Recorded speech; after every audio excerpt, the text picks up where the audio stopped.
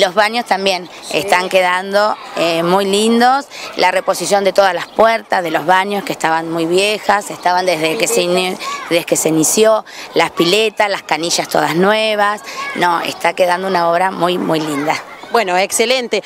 Cristina, quisiera que también me cuentes cuánto crees que eh, se va a culminar esta, eh, esta obra y podemos inaugurar ya el Jardín Cero Kilómetro. Bueno, la verdad es que estamos felices porque la empresa contratista eh, que licitó la obra es Lurojo Sociedad Anónima, es una empresa súper responsable, eficiente y bueno, ha puesto doble cuadrilla para terminar la obra que está pautada en 40 días para hacerla en 15 días.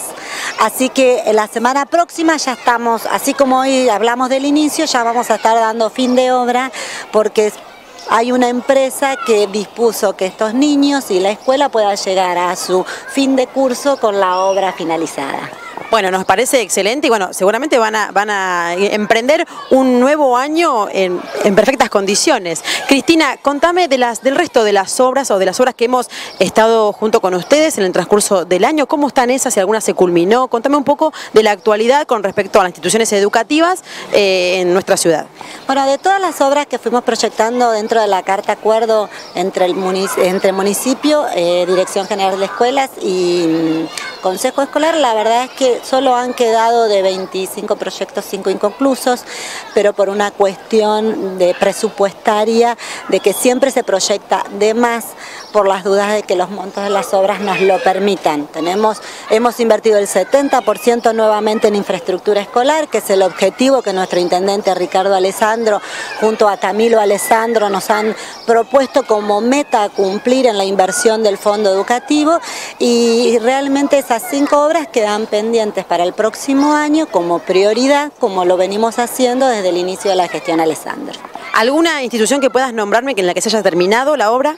Eh, hemos terminado, que no estaba proyectada dentro de, la Carta Acuerdo, la obra de los murciélagos tan cuestionada y tan compleja que no estaba prevista en las aulas de la escuela técnica, en los talleres, eh, quedando pendiente una segunda instancia para el próximo año en lo que es el gimnasio.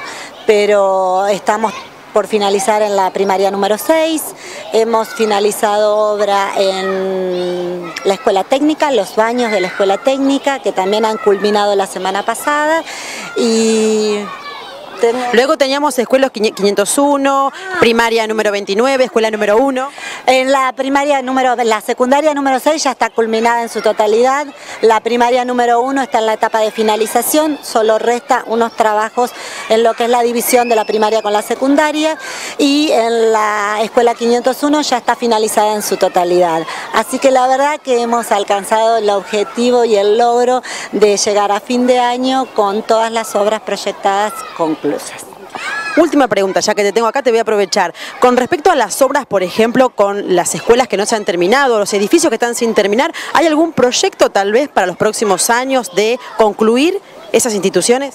Nosotros, eh, junto con Camilo, habíamos propuesto a la provincia en un momento culminar con fondo educativo o ir haciendo por etapas la escuela que era más necesaria, que era la secundaria 2, la de Revaliati. Con la provincia habíamos pautado en un primer acuerdo que después la provincia no lo cumplió, que era la culminación de la secundaria 4, porque ya esas tres obras están, eh, quedaron ya sin judicializar. Bueno, desde la gestión de María Eugenia Vidal no se pudo lograr.